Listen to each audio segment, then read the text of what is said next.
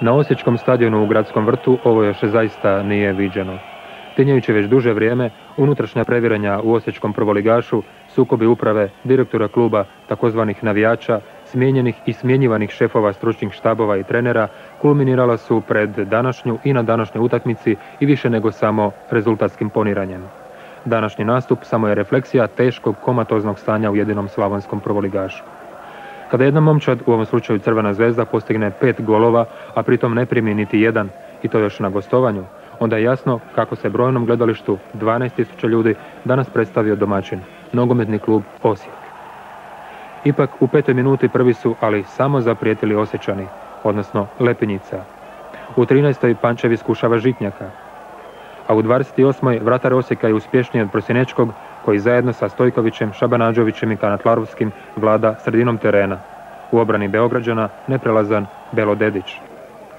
Terensku nadmoć gostiju nakon petog udarca iz kuta u vodstvo pretvara Pančev. 0 prema 1, 29. minuta.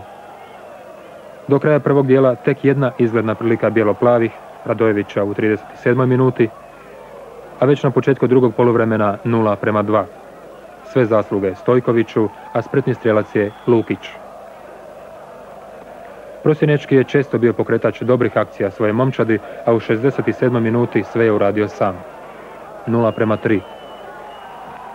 Igrači Osijeka od početka do kraja utakmice bez pravog koncepta, jalova i bezidejna igra u širinu i tek poneki pokušaj proboja, poput Maričića u 73. minuti. Vukčević ne uspjeva iz slobodnog udarca minutu kasnije, a na samom kraju i pravi krah. Akciju Prosjenečkog i Kanatlarovskog završava nespretni Miličević, autogolom za 0 prema 4. 88. minuta.